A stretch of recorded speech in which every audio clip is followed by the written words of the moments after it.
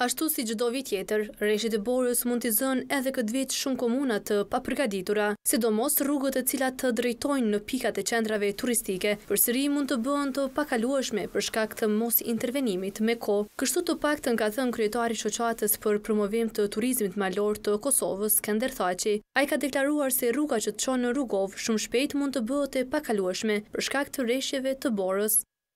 Vijnë turistë nga Shqipëria, nga Maqedonia, vijnë edhe të huaj, vijnë edhe trupi diplomatik i ambasadat me fjalë edhe thonë që si, si ka mundësi kjo. Kthehen prapë. Absolutisht. Ndodh që janë kthyer se s'ka siguri fizike, domethënë është e rrezikshme. Ajo rrugë është, ai aks rrugor është bërë shumë i rrezikshëm. Dhe në momentin e parë tash që do bie borë, se sot ka indicie që mund të bie borë shumë me fjalë, ju garantoj që ajo do mbyllet. Do mbyllet se nuk ka, nuk ka qasje, domethënë njerëzit nuk mund të rrezikojnë me fjalë për një Vikend ose ku ta di unë, domethënë për t'u aktua me familje, për të ardhur në Bogë, në Rugovë, për të rreziku jetën e tyre. Ekspertë të komunikacionit thonë se reshjet e borës nuk duhet të zënë të papërgatitur Ministrinë e Infrastrukturës. Sipas tyre, kjo ministri duhet të fillojë nga tani që të bëjë përgatitjet në mënyrë që në rast të reshjeve të reagojë me kohë, sidomos në rrugët ku ka më shumë qarkullim të automjeteve. Unë po shpresoj shumë se edhe Prishtina siç është kryeqytet ose edhe qytetet e katër regjioneve aty ku është problematika e qarkullimit të automjeteve më e madhe t'i kenë kry procedurat e tenderimit më herët, mënyrë që edhe në janar mos të zënë befasia me borë.